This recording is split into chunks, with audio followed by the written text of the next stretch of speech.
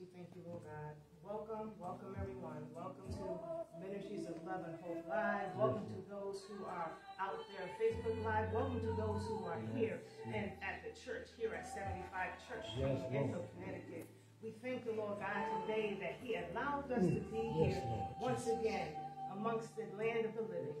Today I give the Lord God a sacrifice of praise. Yes. Because today for me, it was a tough day for me because there were some things that I needed to be able to do. In order for me to do it, I had to look unto the hills from which cometh my help. And my help and strength comes from the Lord. So today I tell you, if you are here looking for someone to help you out, you are in the right place. I come to tell you that there is a living God, the Lord Jesus Christ, who wants to be there for you, who wants to be your ever-present help in a time of need, who wants to give you the joy that you need, the unspeakable joy, the one who wants to give you the peace. All you have to do is reach out for him today and say, Lord Jesus, help me, Lord God. Help me to be all that you call me. To be.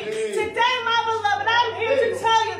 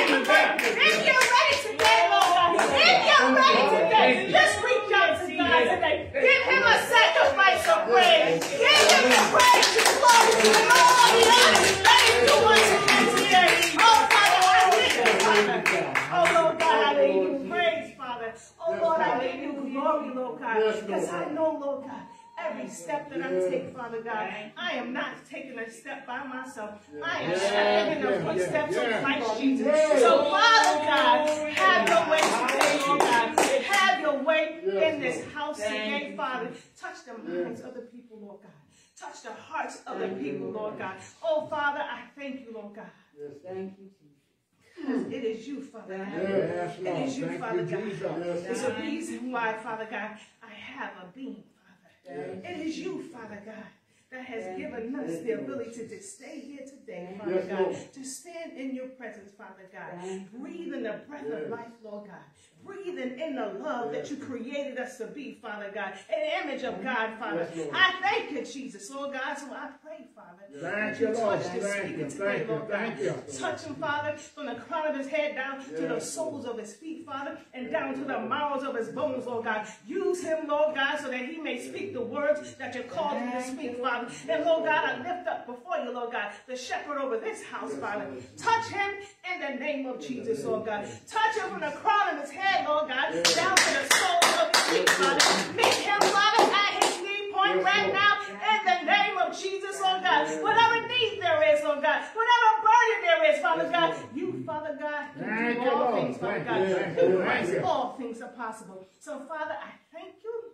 I give you praise. I give you glory. In Jesus' name, amen. Amen. Amen. Amen. Amen. Amen. Thank you, thank you, thank you.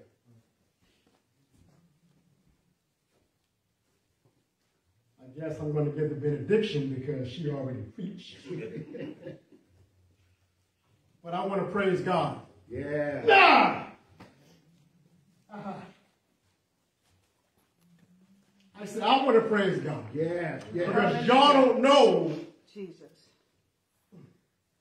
Jesus, Jesus, Jesus. what he's done for me. Yeah, Yeah. yeah. You know what he's done for you, but you ain't up here. Yeah, Jesus. Ah. You know, there are times when I don't feel like coming, All right. like today. Tell it, Jesus. tell it, I, s- mm. I said, "Lord, Lord, it's going to rain. I got to cut my grass. You bless me with a lawnmower. I can cut my grass. I can go and do that. And go watch TV. But I know I have an assignment. Yes, yeah. Yes, Jesus. It's not dependent upon how I feel, Amen. All right. Amen. what I think. It's only dependent upon me making myself available. Yes. Yeehaw. Ah. I get tired. I get discouraged. All right. I get frustrated. I get angry. But then I think about the calling on my life. I think about what God has done for me. I think about the sacrifices that He has made for me. All right. All right. I think about when he was on the cross.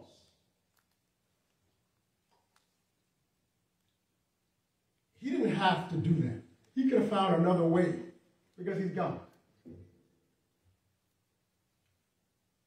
But he did that so that I, you, would not have an excuse. We can't say, oh, God, you can't relate to my pain. What? We can't say, God, you can't relate to my sickness. Because he said, by my stripes, you, plural, person, were healed. Tense. You, you- you can't say, I love, I lost a loved one. Because Yahweh gave his only begotten son.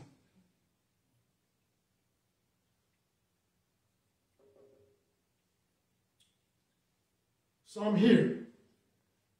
You're here. All right? Yeah. It's been a long week. Been tired every day in the body and mentally.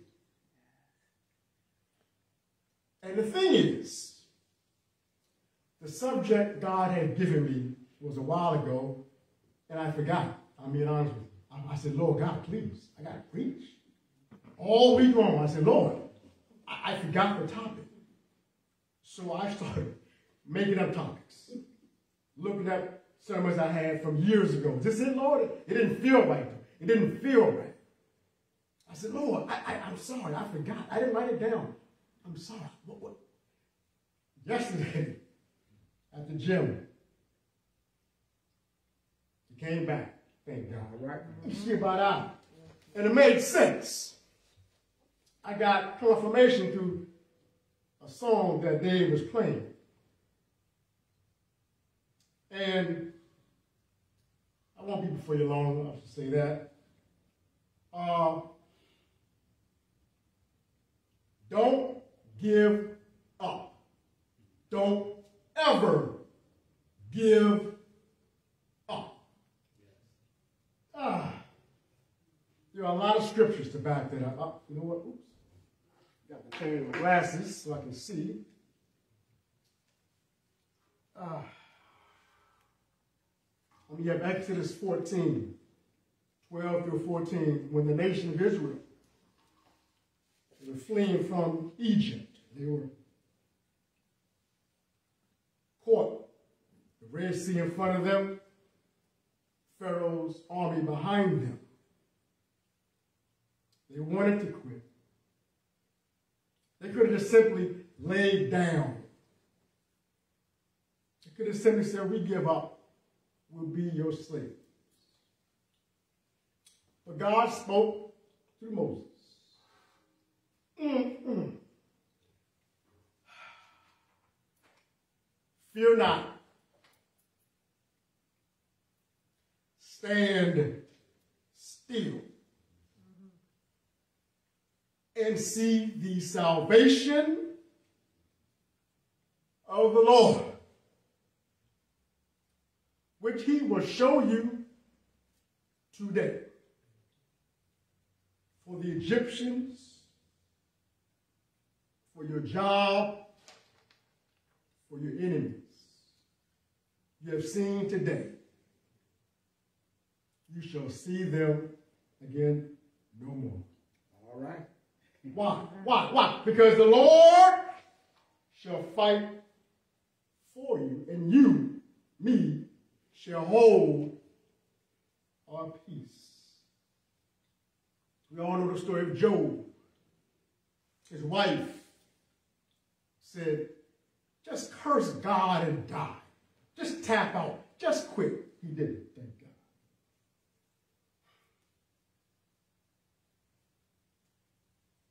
Now, we're all familiar with those heroes of the Bible. But since it was so long ago, since we don't know anybody that was around, it's hard to relate to those stories. We know the truth, but it happened so long ago that, and I will admit, sometimes it's, it's a story. I know it's true, but I can't grasp. I can't hold on to it. There's, there's no meat on the bone because it's, it's, it's, it happens to, I can't ask anybody. Do you know somebody who's there? No. But if you think about it, we all know somebody in our lives that didn't give up, that never gave up. We can start with a Dr. Maya Angelou, a Dr. Martin Luther King, Fannie Lou Hamer. We can, we can talk because we know people that may have met these people. We've heard these people talk. So I can relate to that. But even so, so, I didn't go through it. Meaning, I didn't march on Washington. I didn't march across the bridge in Alabama. I didn't, I didn't, I was not around to do that. I am grateful that they did, but I didn't do that. I didn't feel that pain from the fire hoses. I didn't feel the pain for the police. I didn't feel the pain for the batons of the police. I didn't feel the embarrassment when they were told to get out of here because we don't serve people who look like you. It makes me angry, but I'm not that type of angry where, you know, personal. And that's the difference between sympathy and empathy. I sympathize, but I can't empathize because I don't know the personal pain. I do know they did not give up. Now, to bring it even closer, we know people here. Elder Elliott, Evangelist Maria. They, they didn't they didn't give up. They didn't give up. They fought.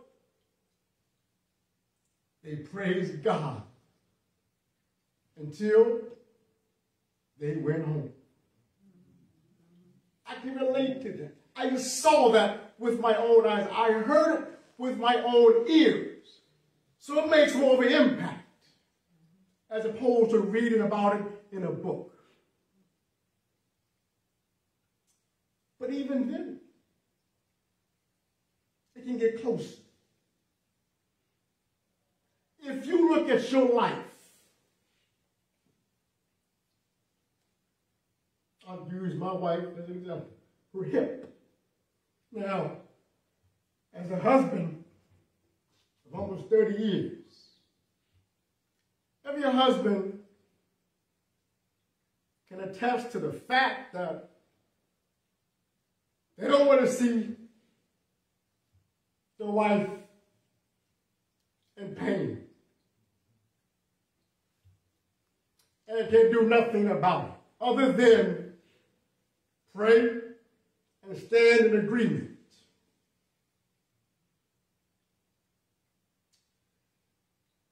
No good husband, I should say. No godly, husband. no, you know what, not even a godly, no good husband wants to see his wife in pain. But what I can say is this. She hasn't given up. She hasn't tapped out. Every day I, I see the grimace on her face. The strain in her voice. Knowing that I'm not God. But I petition God every day. I said, Lord, she is bone in your bone, flesh of your flesh. She is not given up. She declares she is healed every day. How much longer? Because it's already been too long.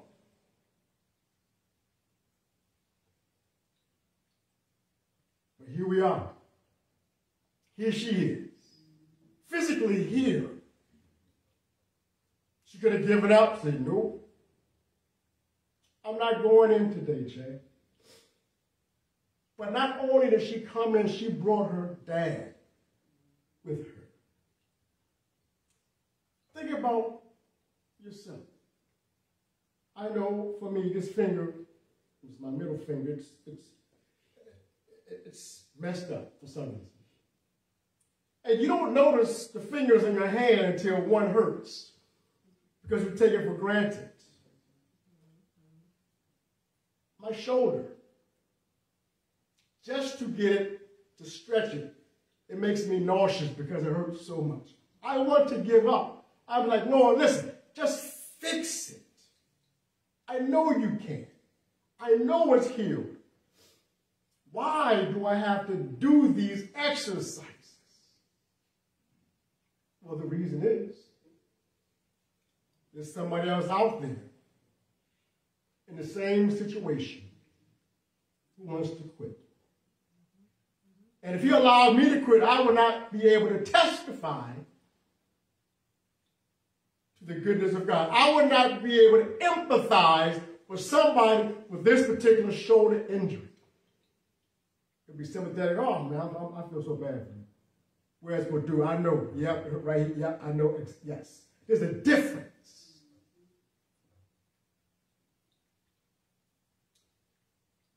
Now, the title, most sports people remember who said it. Don't give up. Don't ever give up. I like that guy. They call him Jimmy V. Jimmy Valvano. He was the head coach of North Carolina State. They beat Houston, uh, I think in 83. Was 83? Yep. NCAA championship. And I remember him running across the floor, excited, because they were the underdogs. He won by two points. Fast forward to 10 years, 1993. I urge you, excuse me, to look up his speech. Because each time I listen to his speech, now this guy, his body was racked with, with, with, with cancer, stricken cancer. He knew he was dying. Stage four, he was.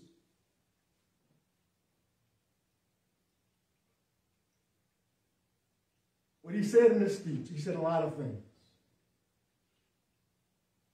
But he said three things you do every day.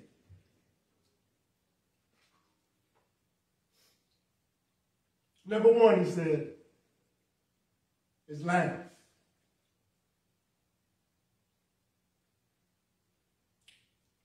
Number two, he said, is to, to think.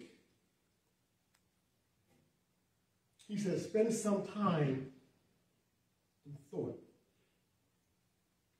He said, number three, you should have your emotions move you to tears. And I guarantee you, if you watch this, look it up on YouTube, Jimmy Valvano speech, it'll, it'll come. I guarantee you, you'll laugh, you'll cry, you think. Because he was a man dying. And he's telling us, don't give up. Don't ever give up, no matter the circumstances. God is still God. No matter how I feel, no matter what phone call I get about my mother, God is still God.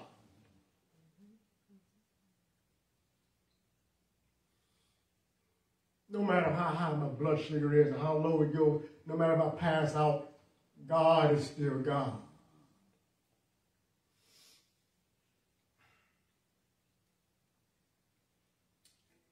Again, I won't keep you long. Just one more, well, another name I'm going to share with you. His name is Derek Richmond. Derek Richmond. And this will affect everybody, but in dads in particular. His son was a track, I mean, Derek was a track star. Olympic caliber track. He had medals, gold medals, silver medals. He ran a 400 meter race and a 4 by 4 as well for England. And this is what happened. He was running a race. 4 by 400, no, 400 for the gold medal. 200 meters in, his hamstring rips apart. And with a hamstring injury, when it tears, it's like a, um, what do you call it? Like a, um, it, it rolls up. So it rolls up and then it separates, like shut, it just rolls up. So he falls down and he starts to cry. And he gets up and he tries to, to finish the race. But he falls down. He's thinking, I trained 18 years to run 15 seconds, and it's taken from me. Ah. But before I tell you what happens, let me read this scripture here. Matthew 26, 42. The Garden of Gethsemane. Once more, Jesus went away and prayed. My Father, this cup of suffering cannot be taken away unless I drink it. Your will be done. Your will be done. And we all know after he was on the cross, where his father had to separate himself because of sin. Not his sin, mind you, our my sin, my sin. Which was the saddest moment in his life of Yahweh. He had never been separated from his son. But on the cross, Jesus called Abba Father.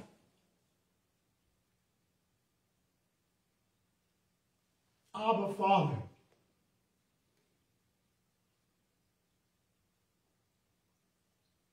Imagine your child calling you. You have the power to stop the suffering. But because of your promise to an ungrateful people, you can't. You have to watch your only begotten Son suffer. I can't imagine that. And neither could Derek Richmond's father. Because as he went down, Derek's, you see it in the stands if you look at the video. He's made, security guards are trying to stop him. I will give you a suggestion. Don't you ever get in the way of a dad trying to get to his son that's injured because it won't end well for you. I he's moving security guards out the way. Get off, get. And goes down to his son. Where's his son? He meets him. I get this now. He meets him where he is. He didn't ask his son to come up to where he was. Hope you're getting this. The father came down like this to pick him up. Because that's where he was. The father met him at his need point. Whether for you or for me, that's alcoholism, drug addiction, lying, stealing. God the Father will meet you there. So, so Derek's dad went down to pick him up. And I swear to God, watch the video. And he, he they hobbled. But he crossed the finish line. If it weren't for the Father, Derek, he was disqualified already. He'd have just been on his knees crying because he was, you'll see, he's crying like a baby. And even had the stretchers out to get him. Just fall away the away. No, no. That's my son. I got this. I was built for this. And he powers the last 150 meters to the finish line. And 65,000 people would go. Because they saw the love of the Father that they had never seen before.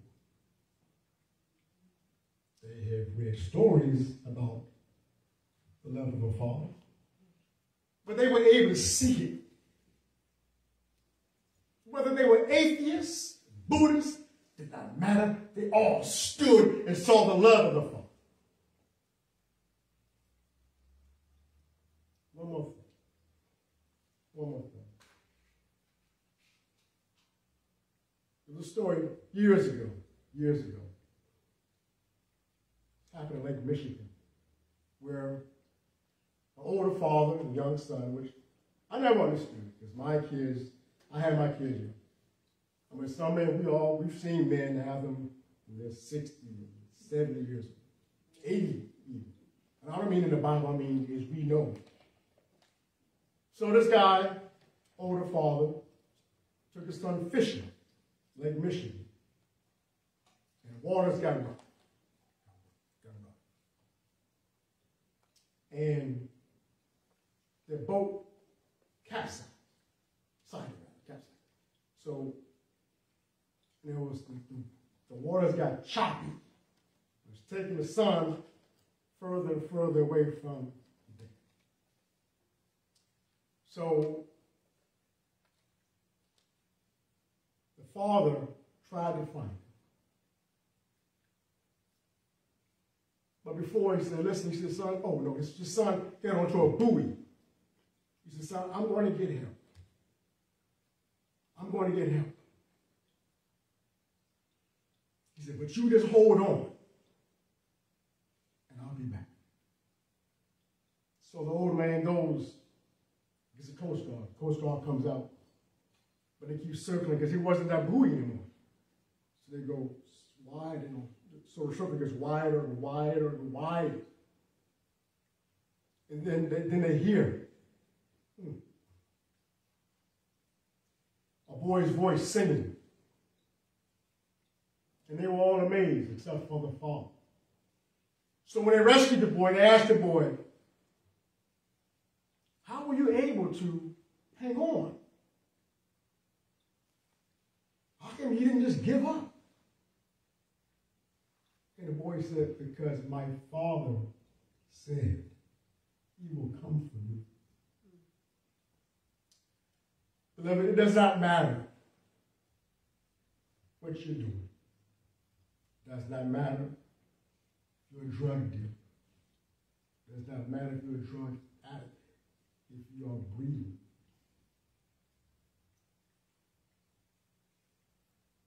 Matter of fact, if not, because God raises people from the dead.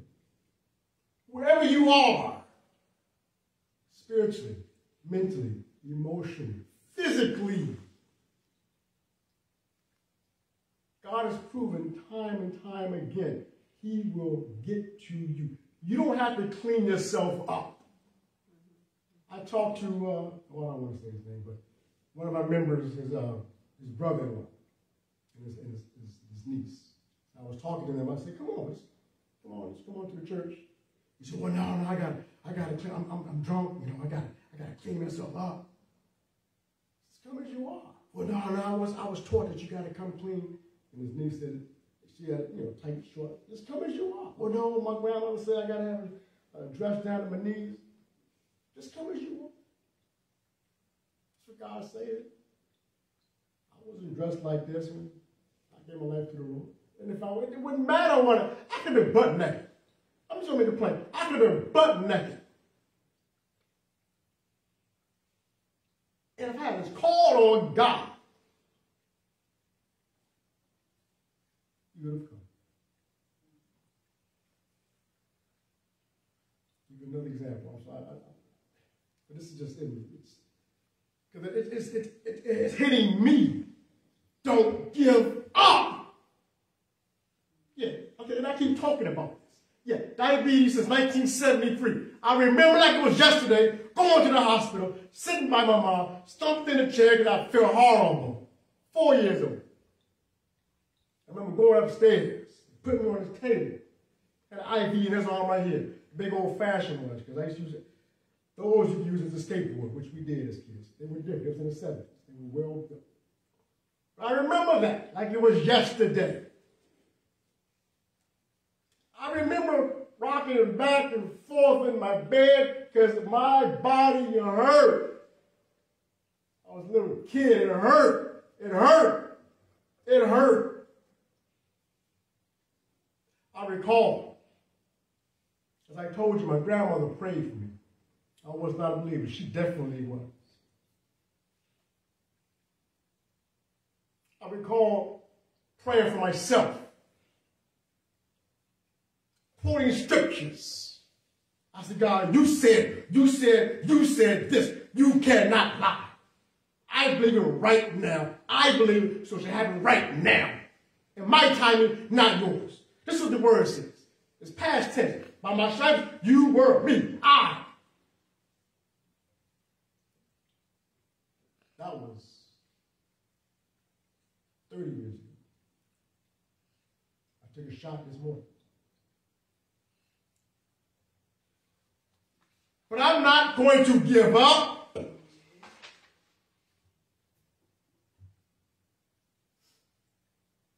Because I have a job to do. And I declare, as I do all the time, I am healed. I don't care what the blood tests say. I don't care what the doctor, I don't care how I feel. I am standing on the promises of Father God. That's all I know to do now. I know nothing else works. It can be a temporary fix, but I want an eternal solution, which that's what God is. The story of uh, the three Hebrew boys. Someone said that God had a conversation in heaven saying, okay, somebody needs to get there. He asked Gabriel, Gabriel, how fast can you get there? Oh, I can get there in, in 20 seconds. No, it's going to take too long. Michael, how fast can you get? I can get there in five seconds. No, it's going to take too long.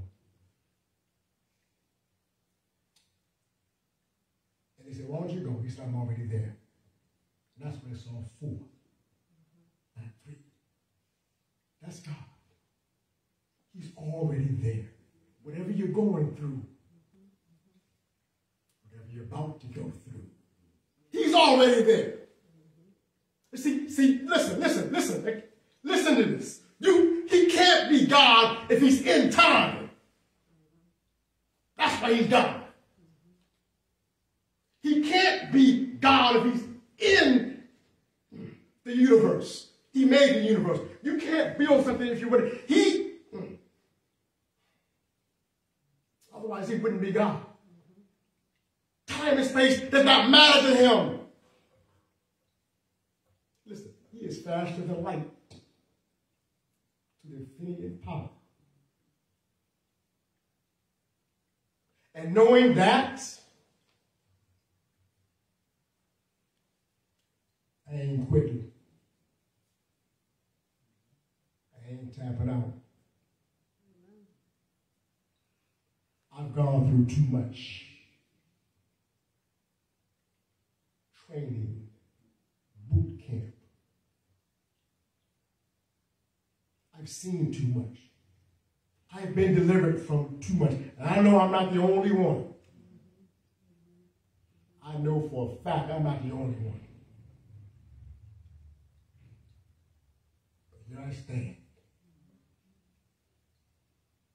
Should have been, at the very least, blinded on dialysis, no fingers, no limbs, at the very least. You can ask Melissa what I used to do when I met her. For an example, she said, listen, I used to like hot tamales. Halloween time, she had a big bowl of hot tamales. I took it all, the whole bowl, a punch bowl. Ate it myself. My sugar should have been over a thousand. Next morning, my sugar was 60. There's no science that can explain that. Only God. And the thing was, see, as I said before, in my healing, in my confession, there was an arrogance. That's why I did it, because I knew I was here. Yeah, I ate stuff I should not have eaten. Because in my arrogance, I'm healed. Not realizing I was tempting God. But God's mercy and His grace was sufficient. Because He knew where I was mentally and emotionally and spiritually. He knew I was bragging on Him. I mean, I don't want to imagine hearing a conversation between God and Satan and he says, have you thought about my servant Chad? Like, what? No. Because if we hear those conversations, we go, no, no, I don't want any part of it. Because if you told me I had to go through what I went through to get to where I am today, nope. Nope. Would not have done it. Would not have wanted to do it. There's too much pain involved. But the sanctified pain which glorifies God. It's not about me. See, my life, your life, is a testimony for everyone else. And and i give you another example. My friend Mike, I told you all about. We used to work together at ING at Hartford. And, I- you know, I, I read my Bible lunchtime. I, you know, a lot of things I did that which you're supposed to do if you're a Christian. And Mike tells me, this is God, before Miles was even born. This is a long time ago. So Mike tells me recently, Chad, I was watching you. I didn't know. So I saw you, Chad, reading the Bible. Lunchtime, people said, don't mess with Chad when he's reading the Bible. I, I watched you, Chad. I watched how you carried yourself. I watched how you wore your suspenders and slacks. I watched you, Chad. I didn't know. And I was watching him, actually. But I didn't know he was watching me. You see, Chad, Chad, you don't know how much of an influence you had on my life. Had no idea.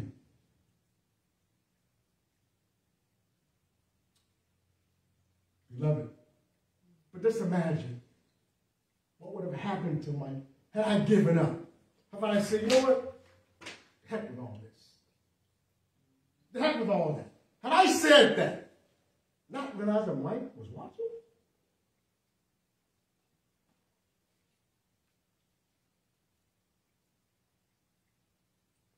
So I'll say it again.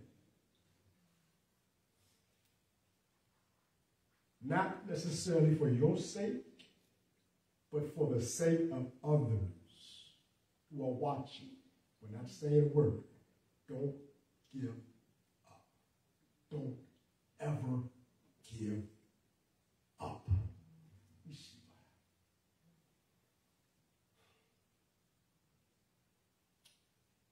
That's the end of the message. Pray first as the Lord lead.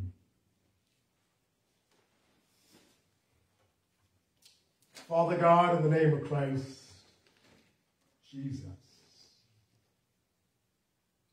I pray, Father God, that your word touched people like it touched me because I had no idea what you were going to say. I pray, Father God, that people get strengthened and encouraged. Pray, Father God, that the endurance will increase. I pray, Father God, that they would take their eyes off of the circumstances and put their eyes on you. Father God, any and everyone under the sound of my voice, if they have not accepted the Lord Jesus Christ, I pray, Father God, come as they are. Ask for forgiveness. Repent. And seek your face, Lord Jesus. I pray, Father God, that they know they will not be condemned. They will not be judged. I pray, Father God, that they will come, Father God. I pray, Father God, that those that might have turned their back on the Lord will turn their back to the Lord and do what the Lord said to do. I pray, Father God, that they will complete their assignment in the name of Christ Jesus. I pray, Father God, that you would give us peace. I pray for peace in the homes, peace on the jobs. I pray for peace in every person's life under the sound of my voice. In the name of Christ Jesus. And I pray, Father God, that you be glorified from this day forward by what we say and by what we do in the name of Christ Jesus. Amen.